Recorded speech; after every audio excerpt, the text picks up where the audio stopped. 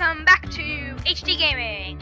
I am HyperDiamond 100, and today we're back with some more Cooking Simulator. Now, there's a fun announcement, as some of you may know, that a Cooking Simulator pizza update is coming out soon. I cannot wait. Now, today we're gonna try a new thing: the Winter Holidays Extra Game Mode. We are going to see how this works. It says to make a Christmas dinner. We're gonna try just two guests, the maximum time limit, and a tutorial on. Let us see how this works. Alright, so we're in and it's telling us that our guests have preferences. Select a recipe that includes the product of their choice to please them. It's super effective. You need to assign recipes to guests. Oh, do it early on to keep track of what you need to do. You can change mine at any point before the dinner. The more difficult dish you choose to serve, the happier guests will be. The dinner won't begin until all guests have been served their dishes.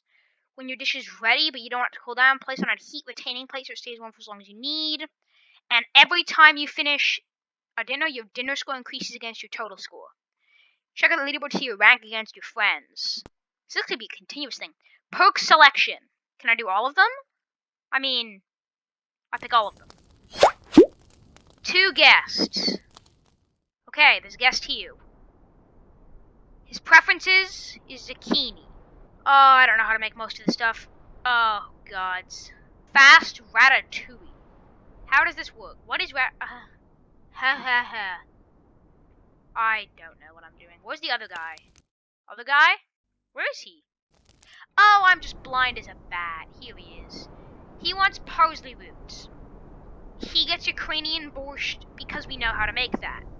The only thing that zucchini is in is ratatouille. I mean, I guess we can try it.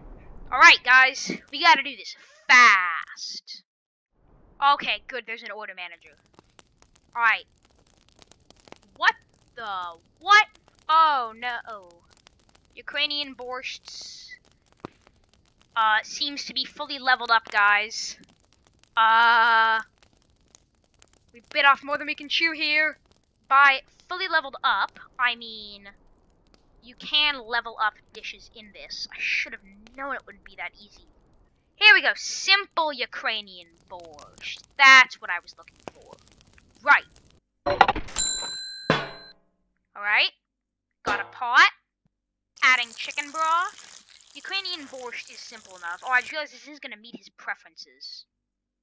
Wait. Yes, it is. I was just confused. Salt. Pepper. Beetroot. Onion.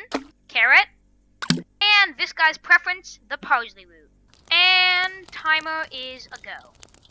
That's a really cool stove. This is such a nifty kitchen. Well, that cooks. Just want a quick tour. Counter, counter with sing. fun fry thingies, awesome stove, hot plate, or counter, recycling bin, pantry, dining room. Alright, now we have to figure out how to make this fast ratatouille. Oh, oh boy. We gotta add stuff to a food processor, blend, add it to a pot, boil, transfer into a casserole. What have I gotten myself into? Alright, supposed to add some stuff to the food processor.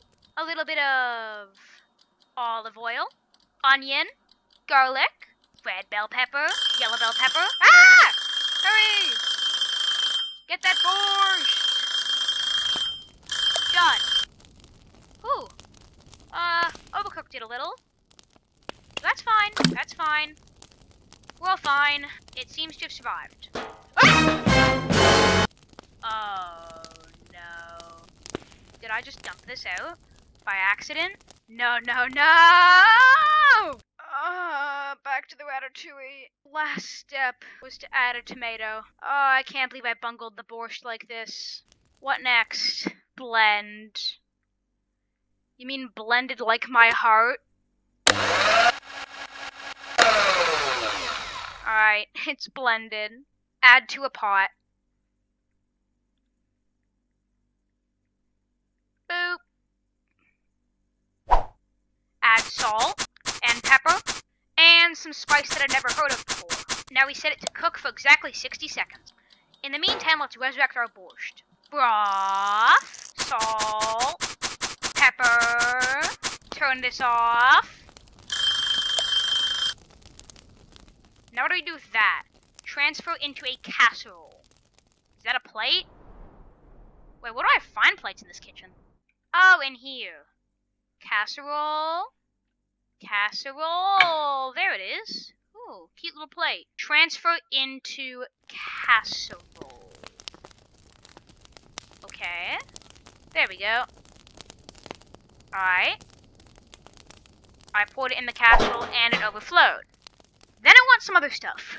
Okay, uh, we'll get to that in a second. Back to the borscht. Beetroot, onion, carrot, parsley root, and back on the stove. Alright, ratatouille. Roasted vegetables. Take an eggplant and a zucchini. Chop. Put on a tray. You too, zucchini.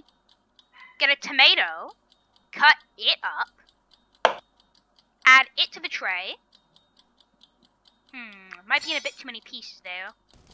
Borscht is done. Alright. With the borscht successfully finished, we shall transfer it into the standard deep plate. Hey, and with that, I can serve it. You, guy, have I, how do I serve you? Ah, that's how. Alright. He served, I think. Back to the ratatouille.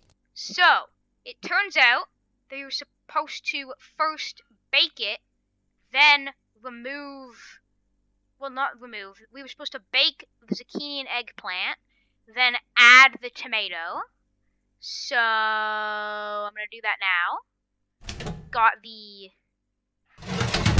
thingy off. Got my trusty timer. And, um, now we wait, I guess. Because there's nothing else we can do. Alright, come on, come on, come on. Done. Alright, that's done.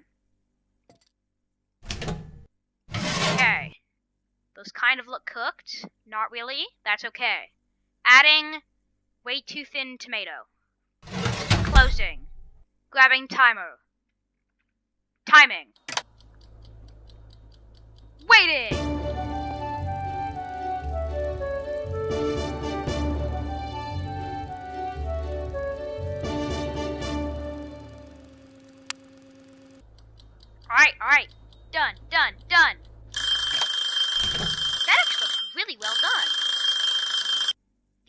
Like a millimeter overdone, but, uh...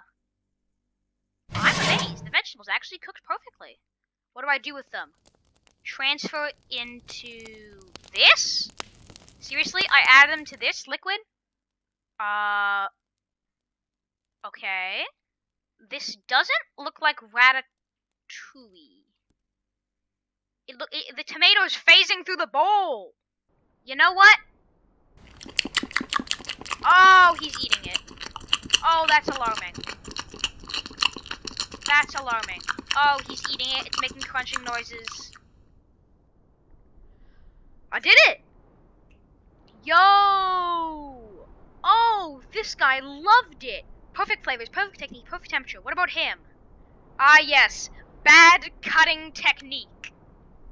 I mean, what did I expect? I did that pretty fast, uh, I think.